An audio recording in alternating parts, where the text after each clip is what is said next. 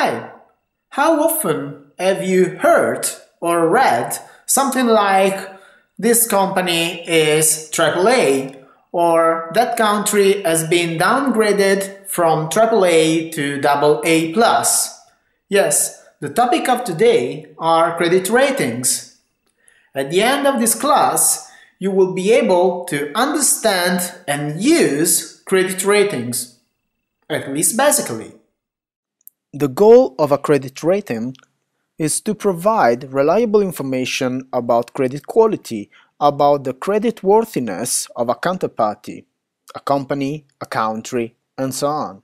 When using credit ratings, the implicit assumption is that the information provided by a rating fully determines the probability of default of our counterparty. Very often, we listen to statements like, that company is triple B. Let me be a little pedantic. That is not fully correct. From a theoretical point of view, a credit rating is always an attribute of a bond issue, not of a company. It could happen that the same company has different bond issues with different ratings. However, since most of the times all the bonds issued by a given company have the same rating, people tend to associate ratings to companies and not to their specific bonds. As you probably know, credit ratings are provided by rating agencies. The three major rating agencies are Moody's, Standard & Poor's, and Fitch. Together, they control more than 90% of the ratings market. Even if there are differences in the scales they use and in the specific probabilities of default of a bond issue, the ratings of these three companies are considered comparable. Credit ratings are often used to define the speculative nature of a bond. A bond issue or a company whose rating is at least triple B minus according to Fitch and Standard & Poor's or Baa3 according to Moody's, it's said to be in the investment grade. In other words, it is considered safe enough to be a reliable investment and therefore we accept lower returns. A bond issue that is below those thresholds is said to be in the speculative grade. We can expect higher returns but also higher risks. Here you can see an example of rating scale by Standard & Poor's. I suggest you to have a look at the websites of the different agencies, since you can find a lot of interesting information. One of the goals of rating agencies is ratings stability, a rating agency always tries to avoid the so-called ratings reversal, where a company's bonds are downgraded and then upgrade it again, or vice versa, a few weeks later.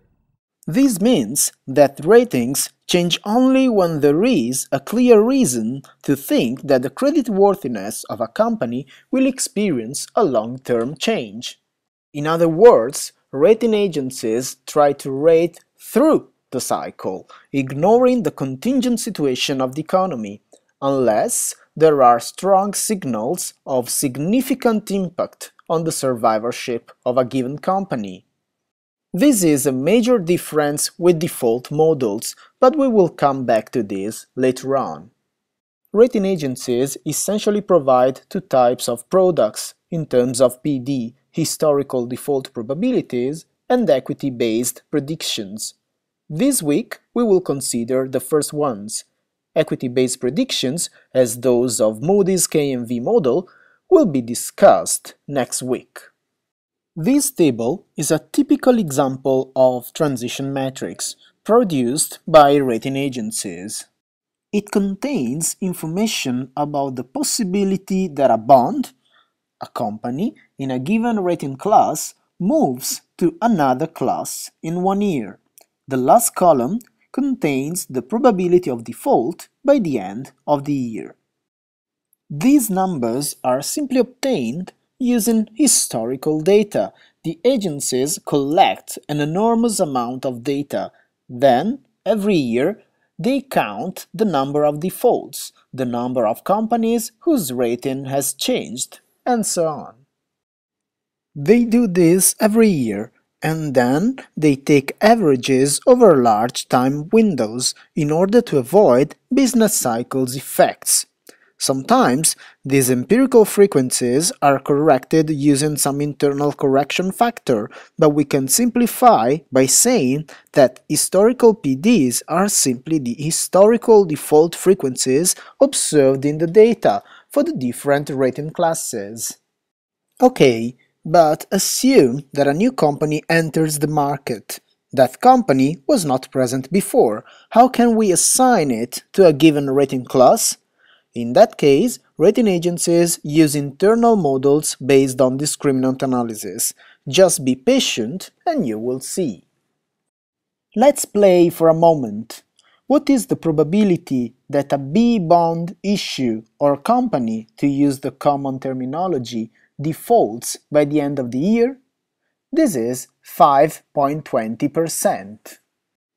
And what is the probability that a AAA company will move to the A class by the end of the year? Simple, 0.68%. And finally, what is the one-year probability of default of a AA company? Essentially 0%. Rating agencies also produce tables which contain the cumulative probability of default over larger time horizons. As you can expect, the probability of default increases with time. This is due to the fact that uncertainty increases. A company which is healthy today could be in a bad financial situation five years from now. Look at the table. What is the probability of default of a triple C bond by the end of the second year? We can read this in the table, 26.92%. And what is the probability that the same bond defaults during the second year?